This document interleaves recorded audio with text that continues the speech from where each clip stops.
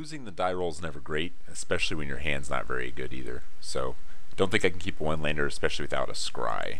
So we're gonna mulligan. Um, this is not a one lander. It is not exactly powerful. One of the things I've noticed in my practice is that it normally draws pretty good hands, but this isn't one of them. I do think I'm going to keep it though. I'd rather not go to five cards since I can actually play the cards in my hand.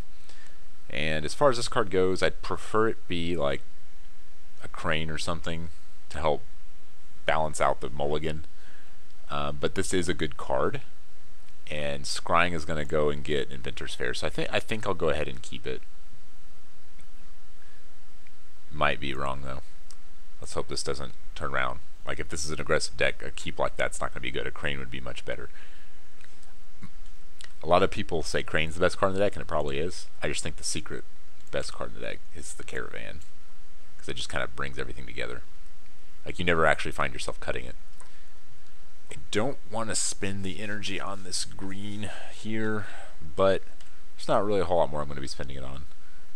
It's a decent draw, fourth land. So yep, got to make the green. I want to use my mana every turn.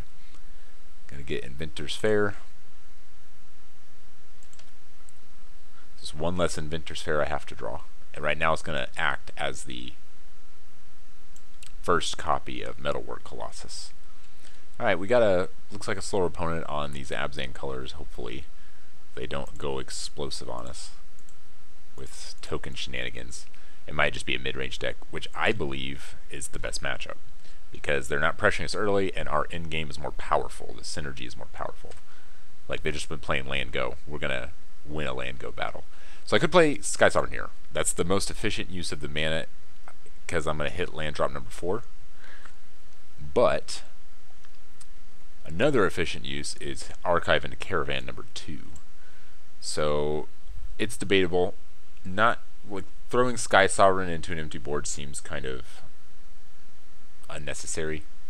So I, I can still advance a greater number of mana costs that way, so I'm going to do it. I mean, the jury is pretty much out on what we're playing, so it's no secret anymore. The argument for playing Sky Sovereign first is being able to attack with it sooner. Um, it's like the haste for your creatures. That's kind of how vehicles feel.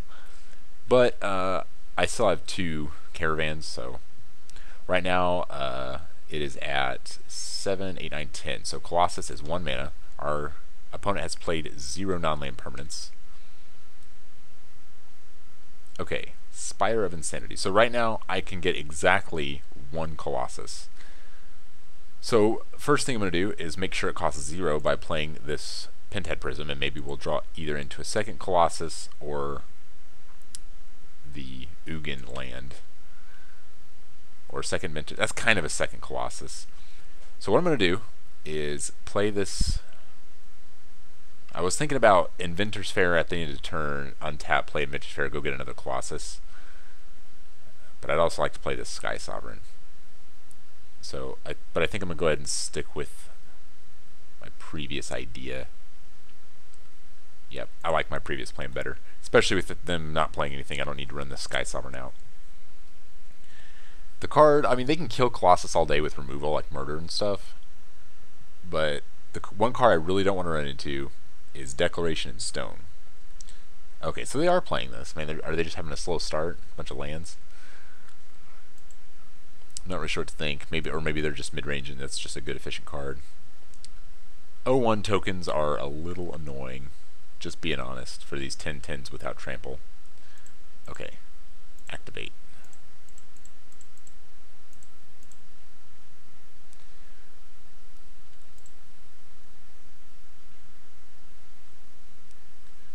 Alright, Pentad Prism. First we're going to start by playing Fair number 2 and we need to figure out how much mana I have available. 1, 2, 3, 4, 5, 6, 7, 8, 9. So I'll have exactly 4 mana left over if I play Sky Sovereign, which isn't enough to activate the Fair because that's a tap. If I play Prism and I'm playing off the top of my deck, that would make playing the Inventor's Fair a little less good because that could have been a um, Sanctum of Ugin, which would have been a more efficient use of the mana. So I'm committed to this play, so I'm going to do it. I am still going to play the Pentad Prism, but I'm not going to play the Sky Sovereign. even though I could shoot down the uh, token.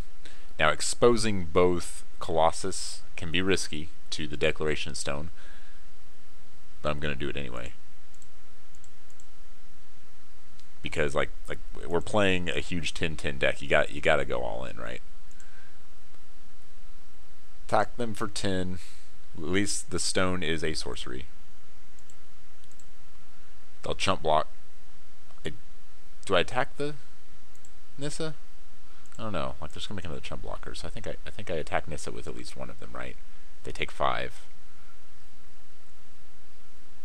They make another chump blocker, maybe play two. I play Sky Sovereign. Yeah, so I'm gonna attack with one to Nissa. Yeah, I, I think that's the right play. I could just attack Nissa all out. He could easily have a removal spell. Yep, saves Nissa, takes five. I get Declaration Stone and lose. No, I'm just kidding. Like, I mean, the Lumbering Falls can cruise the vehicles, which is awesome. And I have a Sky Sovereign, so the backup plan is still a thing. Although, losing the Colossus is a very good way to lose the game as well. Alright, Oath of Nissa cannot find Declaration in Stone. So fingers crossed, the fact that they play that first.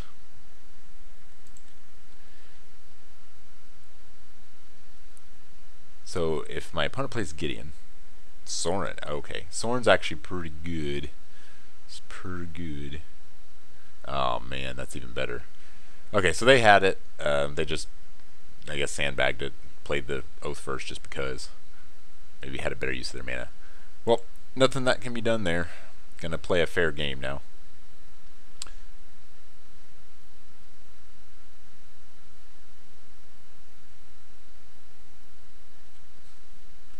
Don't really care too much about the Shambling Vent. So now I think Sky Sovereign will go after Nissa. Because we gotta play this more grindy game. We can't just kill him in one swing anymore. Alright, let's get this Lumbering Falls out there. Play this here. Sky Sovereign. Do like that. I want to be able to crack one of these uh, clues. Clues are also a good way to recycle the Colossus if they're in your graveyard.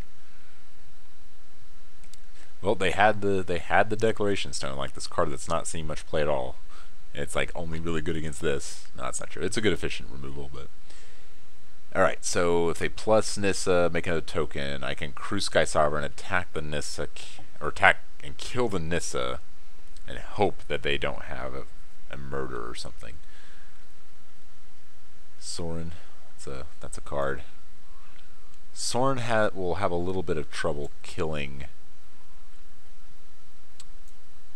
a Colossus, though. So maybe there's a new plan where I just attack and kill Sorin altogether.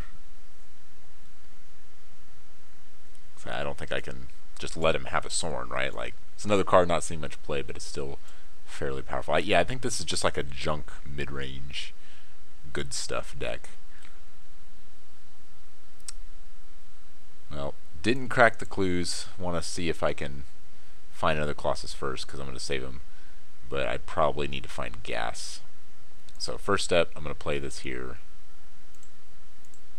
Uh, yeah, I'll take the blue mana. Play this worse Pentad Prism. Okay, okay, that's a, okay. Alright. So he's tapped out. If I find another Colossus, I can maybe kill both? No, no, I don't think so. Well, okay, Sky Sovereign attacks, shoots a token, attacks Sorin. It's only six. I would need to find two more, so yeah. So I gotta figure out how I want to use my mana, because I can crew, or I crew with the Lumbering Falls, but um, Caravan's just gonna get chump blocked all day. So I think the plan is to try to find another Colossus. Yeah.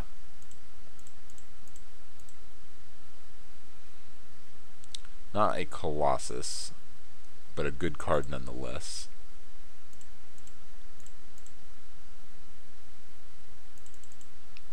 Because I can just cycle these away later. Okay, well, hit a bunch of nothing. Not sure if I played a land yet. Didn't because I was expecting to potentially draw a Sanctum. Alright, so just going to kill the Sorin. Sorin's a little too good. It's too much card advantage.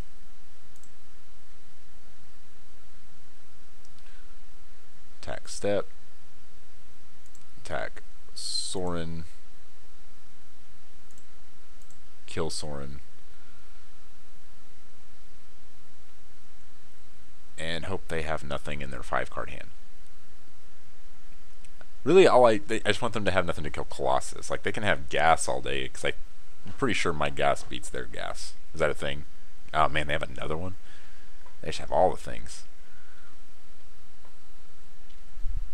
I just I, I play the deck with main board deck declaration stone, but that that's okay because might as well try the worst matchup, see how the deck performs. All these little O1s blocking my 10 10s. But they don't even need to block because they just like they just turn into stone, even though they're already made out of metal. I mean, yeah. okay. Can't crack this clue with my exactly one mana. So I can kill one of the planeswalkers. I'm gonna start by playing this hero Prism Pentad thing. No, that prophetic prism. It's not pentad prism. What am I? What am I saying? I'm just getting way too distracted. Drew the Sanctum. Might as well play it. Try to find a thing. Don't want to spend too much mana because I probably need to make this falls a thing. Alright, two, four, five, six, seven, eight, nine. So I still have quite a bit of mana left. I want to be careful how many Hedron Archives I tap because I'm probably going to cycle one. That's pretty good. That's uh, per, per good. Alright, let's see. So I could clean up the tokens, but then I probably don't have enough mana to make this Lumbering Falls. One, two, three, four, five, six, seven. So seven mana, obviously don't have enough. So I could either play Chandra Crew, attack, and kill the Gideon. Nissa would probably down take to try to kill the Chandra. Um, so I would send a token at Nissa. They would block Yeah, they would have to block to try to kill Nissa on the crackback, or Chandra on the crackback, so I think playing Chandra is correct.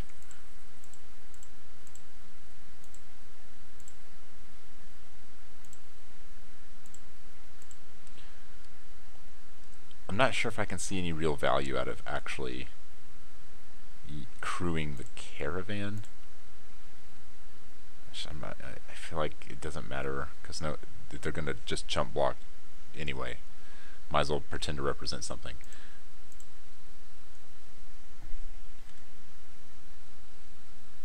All right, so I'm gonna take I'm gonna take Gideon out. Gideon's the most threatening.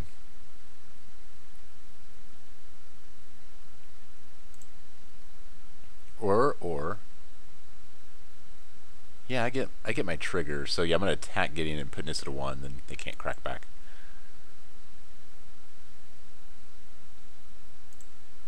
and this will attack Nissa to, to kill it dead.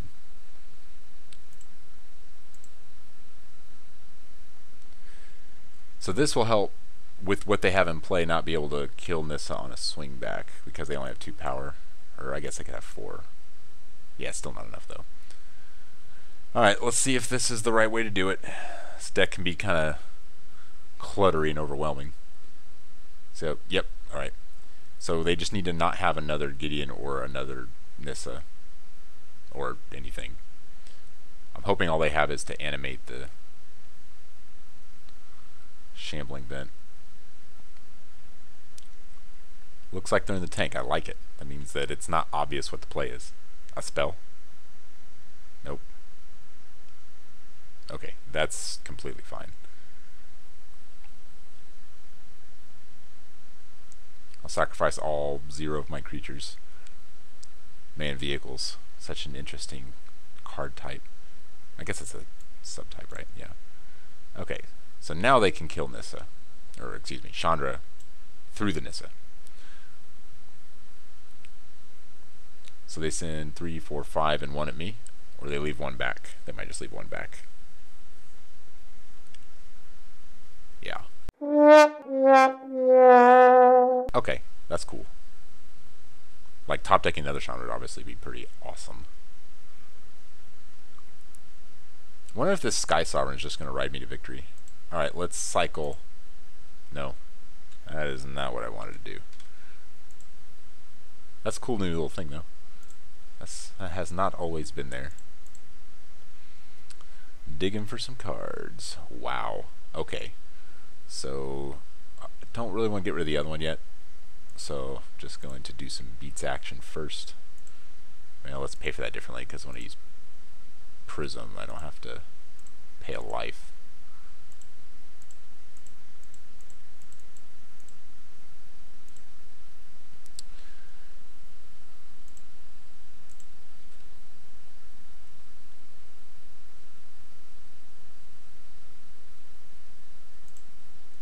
It's going to attack him.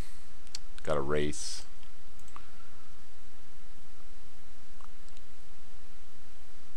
And we want to not let that get too much stuff because Nis has become a lot better. He's down to two cards though. Um, I think at this point I'm just going to try to draw cards. So make some energy.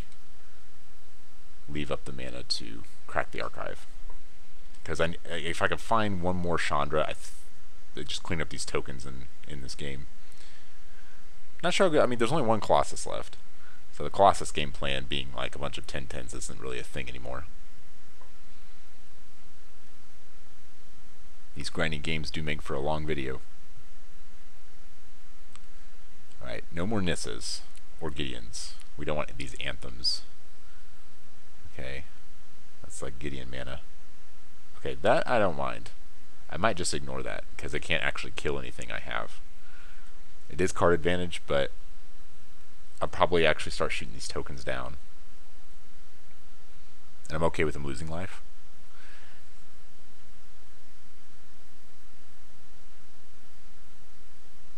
Uh, that's a lot of power. So Chandra now has to die to kill off the tokens. So I'd probably just kill all but the 4-4. 3, 7, 8, 9, 10, 11, 12, 13. Ooh, almost dead. I think I'm on Chandra or bust, right? I can't actually... Oh no, he attacks out like that, he's just dead. Oh, he, oh no, no, because I only have the one Lumbering Falls. Alright, so I'm on Timely top decks here. Heh, timely.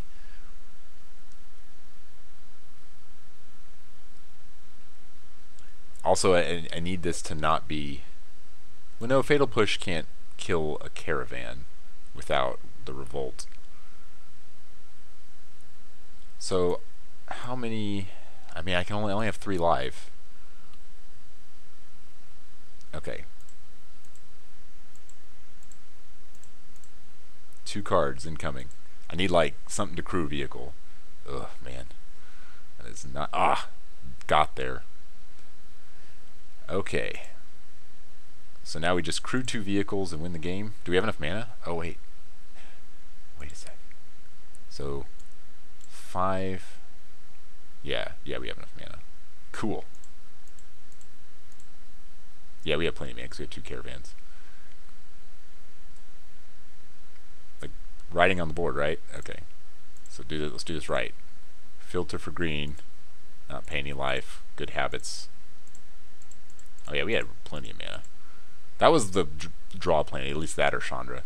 Chandra obviously would have won the game when he attacked out. So I just shoot the token and win the game, right? Am I missing anything? What is one black going to do? Like, if he had one black, one red, like, what would that do?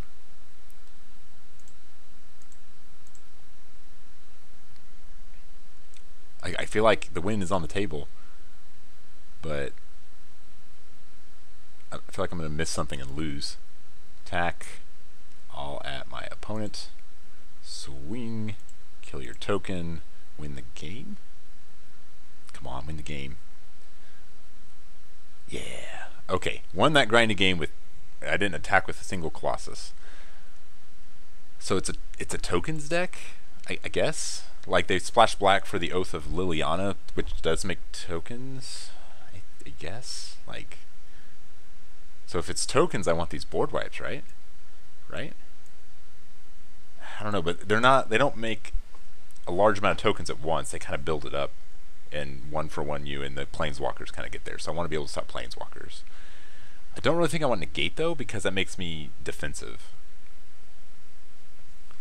Yeah, he's saying he kept a pretty land heavy hand having no plays early.